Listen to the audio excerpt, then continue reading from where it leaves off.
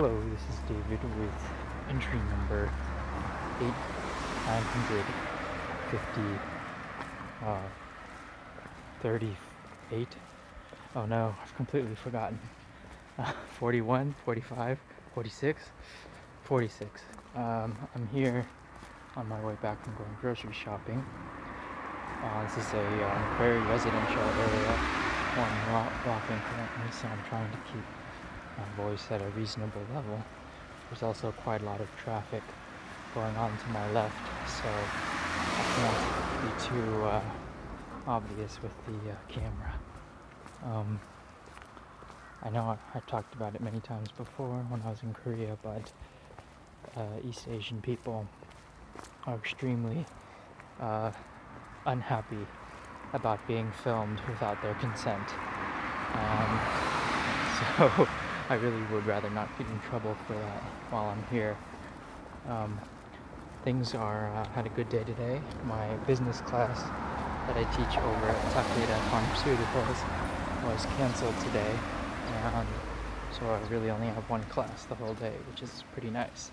And it is at a time which kind of um, precludes me from like really subbing anyone else's classes. So it was pretty nice. Had a nice, pretty much a weekend today. A, week, a day off. Just have to go in at 8 and do a little song and dance. and then I'll be done. So, not bad. Got to eat a nice early lunch, like I, er, nice early dinner, like I, like I like. And I got to do things on my pace. I did my far walk today. It took about two hours. Um, right now the weather is really nice. Um, it's like in the low 70s right now, so it's like perfect weather. Um, there's a little bit of uh, bugs running around, which is a little annoying, but uh, overall it's uh, pretty great. Um, it is definitely summer though. I can say that with uh, extreme confidence that uh, the days of cold weather are now long, long gone, and we are now only going to get warmer from here on out. What's interesting though is that the uh, the early summer, which we're in now, is fairly light, all things considered. I think Korea was a lot hotter during this time, uh, late May, mid-May, late May. So uh, yeah, that's one thing. That's nice. I guess uh, being a little bit higher altitudinally makes a big difference because uh, definitely cooler.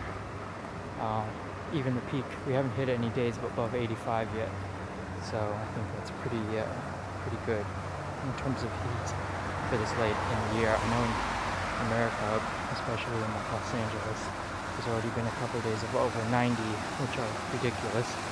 So uh, yeah, that's one thing to consider. Um, the humidity is relatively high although it is, uh, since the normal temperature isn't uh, super hot, it's not, it doesn't make a huge impact on kind of the, the overall feeling of, of, the climate or the weather, I guess. So uh, yeah, overall things are great. Got a nice easy day today, and uh, I'm looking forward to the weekend, which is in two days for me. Today's only Thursday here, so uh, it's a little bit, a little bit far, but uh, looking forward to it. Thanks for watching, and I'll talk to you soon. Bye.